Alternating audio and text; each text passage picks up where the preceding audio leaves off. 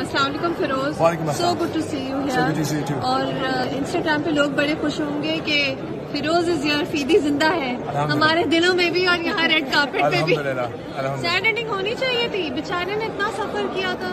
And में भी sad ending आपने देखा है शो मुझे पता चल गया मेरी सब दोस्तें देख रही है अच्छा। मैं। यहाँ दुबई में हूँ मेरे S M WhatsApp sad sad WhatsApp आ गए मुझे कोई बात नहीं यार। I think some endings uh, seem sad but uh, they're happy they're happy for those who are living it and some some pictures look happy but the reality is sad so you know uh, we gotta take it as it comes Do you think love like that exists though? Because you played the character तो you आपने उसकी psyche तो सोची होगी ना See, it depends. It depends on the two.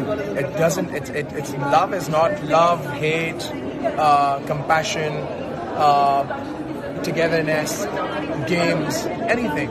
It takes two, not one. So I think uh, if one is lucky to get the two, so it's fun. If it if doesn't, So then you believed in how obsessed he was. आपको समझ आता था कि वो hundred क्यों है? percent, hundred percent, or otherwise there would have been no Leila Majnu, right?